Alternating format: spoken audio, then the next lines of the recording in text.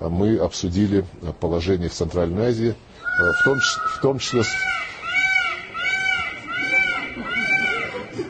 Понравилось.